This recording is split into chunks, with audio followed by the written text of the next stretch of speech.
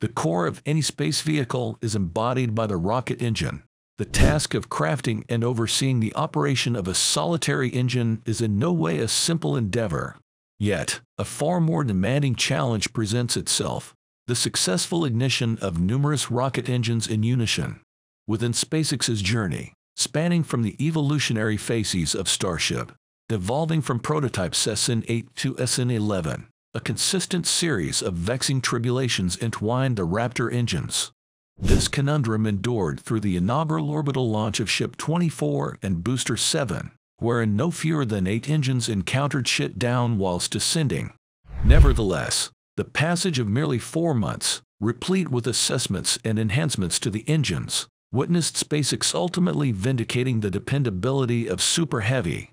This assertion was ratified via the most recent static fire test, conducted with 33 Raptor engines, marking a resounding triumph.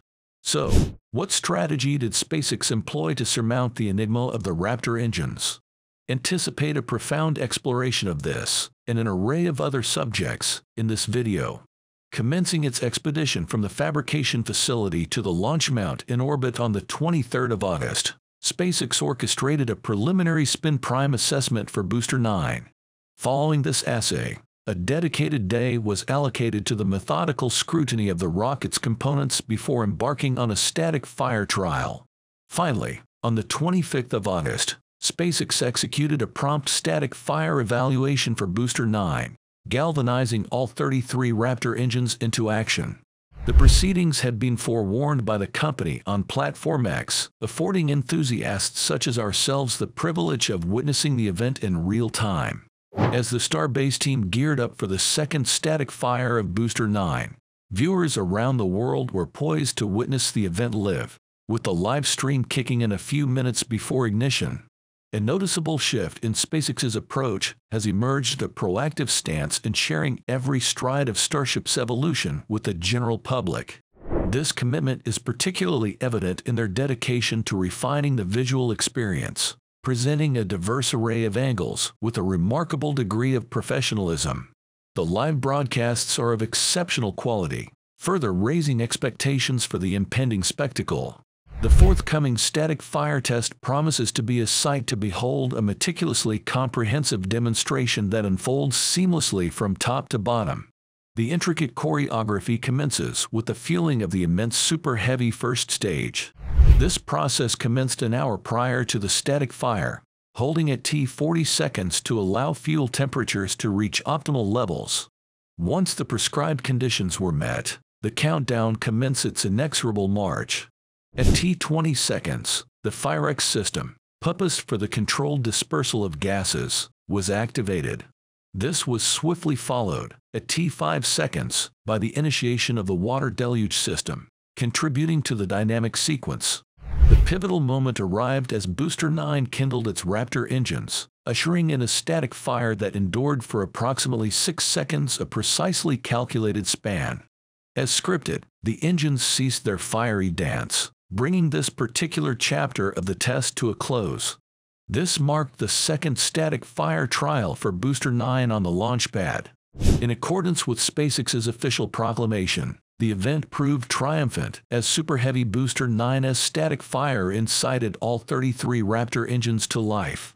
All but a duo sustained their operation for the complete duration, emblematic of the team's resounding success. Commendations flowed in the direction of SpaceX's accomplished crew for achieving this significant milestone. The enthusiasm was palpable, notably even from Elon Musk himself, as evidenced by a tweet he shared on his personal page. The tweet hailed the successful static fire of the Starship Super Heavy booster. All 33 engines burst into fiery existence simultaneously for a remarkable six-second span.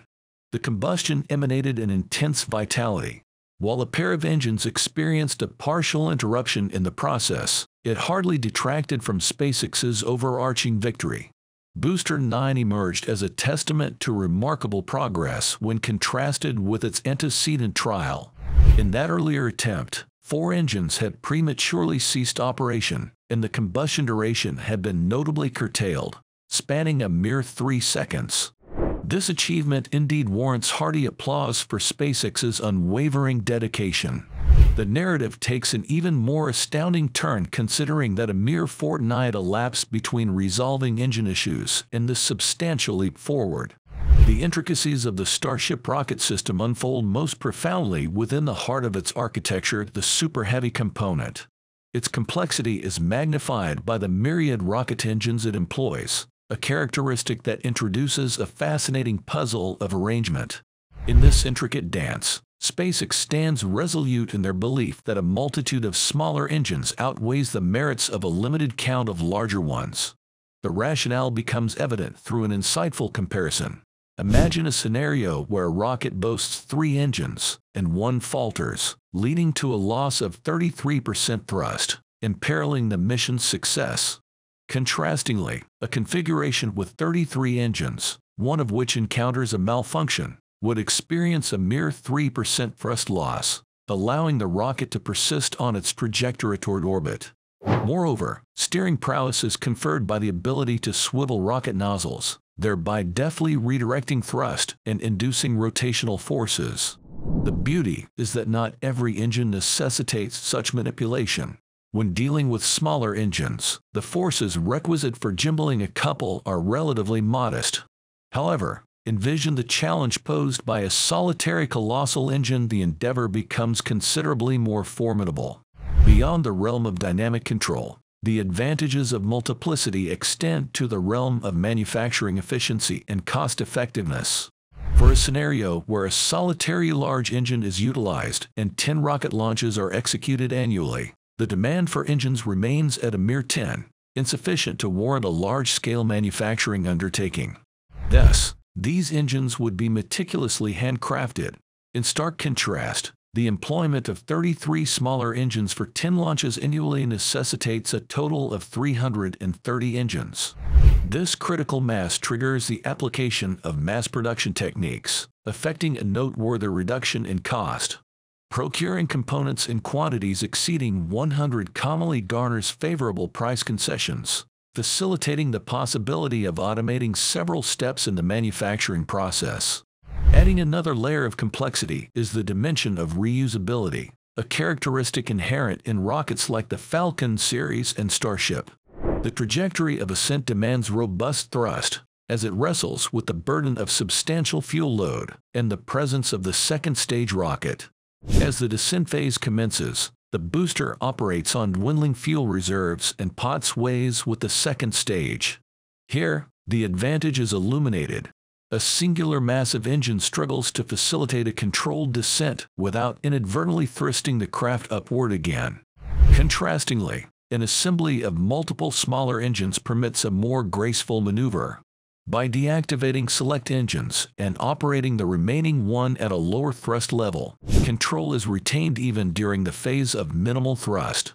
In the Chronicle of Spacefaring Ingenuity, the tale of engine configuration reveals itself as a compelling fusion of engineering pragmatism and visionary foresight.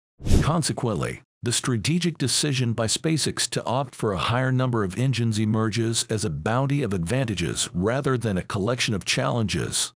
This judicious choice traces back to the nascent phases of the company's rocket development journey.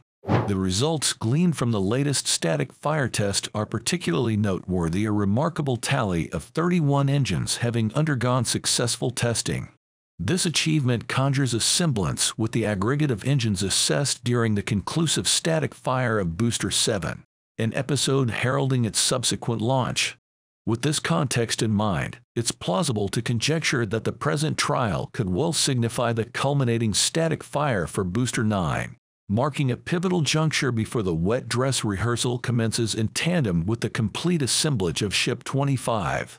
While not as theatrically captivating as an actual liftoff, the significance of wet dress rehearsals is undeniable. These drills inherently validate the secure capability of accommodating multiple propellant loads concurrently. This serves as a crucial stepping stone toward achieving the requisite conditions for an orbital launch endeavor. Additionally, the insights gained from the recent static fire trial of Booster 9 unveil a more immaculate perspective of the ground system. The visual evidence of scattered debris, soil, fragments of concrete, and entwined rebar in proximity to the launch platform were ostensibly associated with the static fire test of Booster 9. However, the reality belies this, as only a minority of the debris can be attributed to this specific event, while the majority is of pre-existing origin. This situation evokes memories of the ill-fated inaugural test flight in April, when the absence of sound suppression mechanisms contributed to notable damages. These included the breakage of concrete blocks from the launch platform, cascading debris across miles around the Starbase site in South Texas. Around four weeks ago, a triumphant chapter was etched as SpaceX triumphantly evaluated a water deluge and deflection mechanism newly embedded beneath the Starship launch stand. This innovation integrates a cooling steel plate alongside a water deluge system. During the course of the static fire test, both the ground systems and propellant handling mechanisms unfurled in symphony, mirroring a typical launch sequence. The meticulousness of this endeavor, akin to a full-fledged flight, guarantees that both the rocket and the ground systems discharge their designated functions as envisaged. With the manifest success of this trial, the imminent threshold that separates SpaceX from the second test flight of the Starship rocket materializes as regulatory approval. The pivotal stipulation rests upon securing launch authorization from the FAA, an entity currently engrossed in scrutinizing the comprehensive report submitted by SpaceX subsequent to the April test flight incident. Pending the approval or potential amendments to this comprehensive report, a collaborative assessment by both the Federal Aviation Administration, FAA, and SpaceX will pinpoint the requisite corrective measures that the company must undertake prior to the imminent second test flight.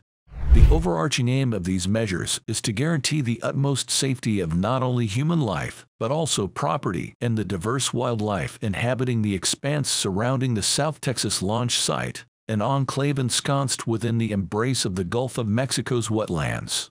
With optimistic anticipation, we set our sights on a seamless unfolding of these proceedings. The fervent wait for this impending event has been underscored by our eagerness, and the curtains are poised to rise in the month of September. This draws the current installment of our discourse to a close. We trust that today's offering was both engaging and enlightening, perhaps bestowing upon you a novel kernel of knowledge. We cordially invite you to share your thoughts, impressions, and reflections in the comments section below. Your invaluable feedback resonates deeply with us, serving as a compass that guides us in our quest to craft more enriched content for your consumption. From the depths of our hearts, we extend gratitude for your viewership, and we eagerly anticipate reconvening with you in our forthcoming encounter. Until then, stay well and stay tuned.